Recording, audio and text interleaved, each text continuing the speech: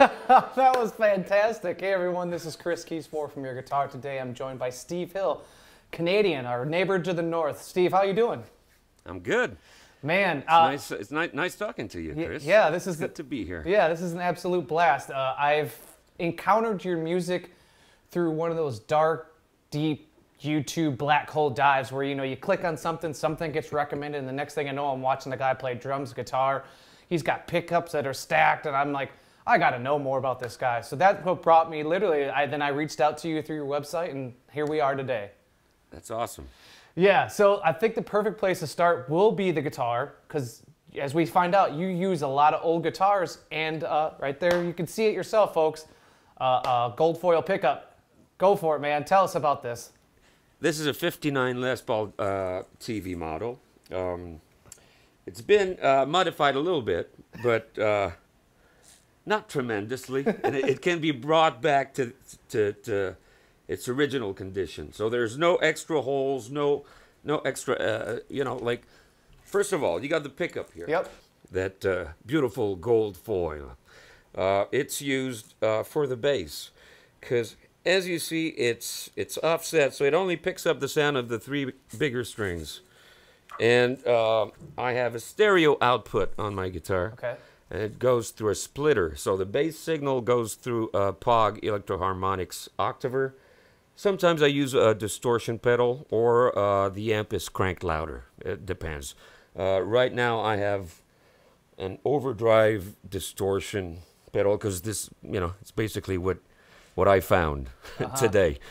but uh, and I can't really crank it up as much as live uh, today. So, but usually uh, it's like a and the amp is a uh, is a 1966 uh, B15 Ampeg. Okay. So.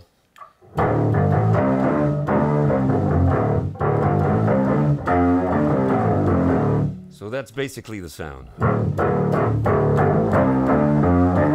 So that also implies that you can't really, you can't play uh, like what you usually play with a guitar. You know, you, you do like stuff like. But it's just mud with this. So you can't do any fifths on the bottom strings. So uh, I had to completely uh, re- rethink how I played, you know. Uh, uh, so it, it's got to be octaves on the bigger strings, you know. You can't because it, you know, then it's just it's just mud Now, basically. now let's dive a little deeper into the evolution of this. Now, what prompted you to go to this length? And, and like you kind of alluded to before, there's no actual surgery in the guitar. It kind of slides under the strings, so there's no routing that that extra pickup has. But what was it something that you were like, I want to be a one-man band, and this is how I need to get there, or is it trial and error? all it's all accidents. Okay. I never wanted I never wanted to be a, a one man band. you know, I never planned for that.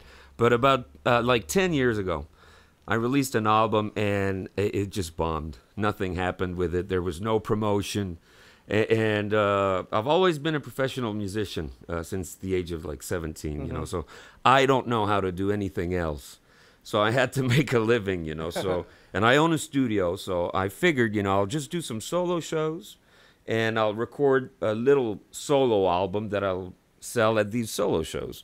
And uh, that uh, that little album is Solo Recordings Volume One, and it's my best-selling album. Uh, It's a great name. It, it, it, it, it completely changed uh, my career. You know, uh, it really helped me uh, in many ways. And then I had to do solo recordings volume two and solo recordings volume three. But on volume on volume one, it's it's very simple. It's just basically I'm foot stomping, Okay. and I, I'd put a mic on the floor, and halfway through the record, I bought a bass drum. And then uh, I bought a hi hat. So you got hi hat on like four songs, and Uh, but but, uh, uh, and uh, on the acoustic songs, sometimes I use this, which is a can with coins in it. And every every acoustic song that I've recorded has this on my right foot, and it, it works better than anything else I've found.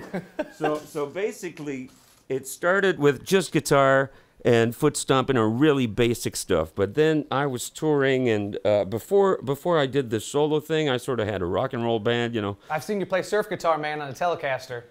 I I, I used to do that too. I've done many different things, you know. But basically, when you know, if you're on a stage, you kind of want to rock out.